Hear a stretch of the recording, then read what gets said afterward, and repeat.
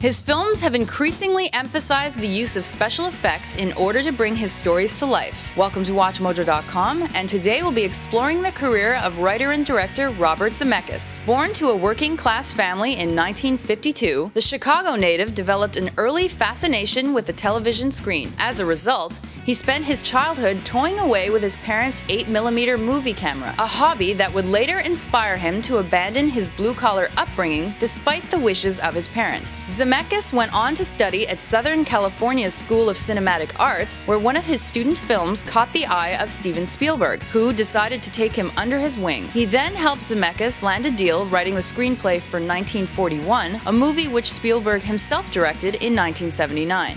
I will not have guns in this house. Excuse us, ma'am. Uh, Zemeckis made his directorial debut in 1978 with the film I Want to Hold Your Hand, which he followed with 1980's Used Cars. Why are we giving these cars away? Both features were co written with his partner Bob Gale, and despite a warm critical reception, they suffered humiliating box office defeats. After a long period of difficulty finding work, Zemeckis was hired by Michael Douglas to direct the romantic adventure Romancing the Stone. A lackluster first impression of the film by studio executives caused them to predict it would flop. Now, I ain't cheap, but I can be had.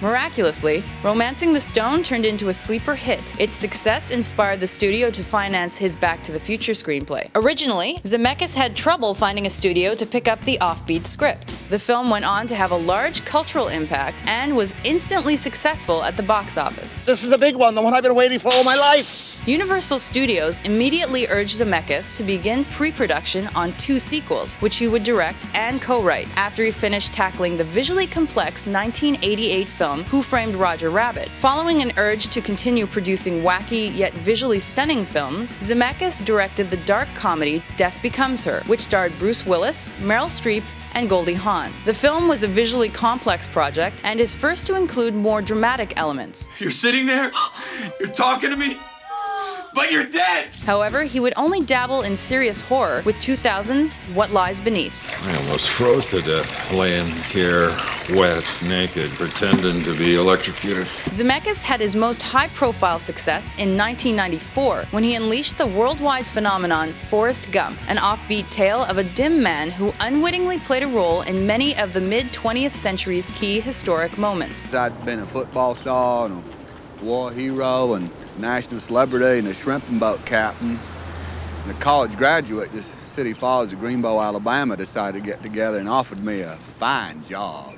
The film pushed visual effects in ways that had not been attempted before. It made extensive use of CGI and archive footage to allow Gump to meet deceased presidents and even shake their hands. Forrest Gump won six Academy Awards and earned Zemeckis the title of Best Director, while earning an unprecedented $677 million worldwide. Zemeckis would later reuse Tom Hanks to give heart to his reflective film Cast Away. Zemeckis' love for bringing effects to the screen led him to coordinate with eight separate visual effects studios while producing 1997 sci-fi film Contact. This shift from relying heavily on industrial light and magic showed Zemeckis' unhappiness with limitations he faced with 2D special effects. This led Zemeckis to produce 3D films as of 2004 with The Polar Express, followed by 2007's Beowulf and 2009's A Christmas Carol starring Jim Carrey. Couldn't I take them all at once and have it over with? Zemeckis is currently attached to producing a 3D remake of the animated Beatles classic Yellow Submarine for a 2012 release.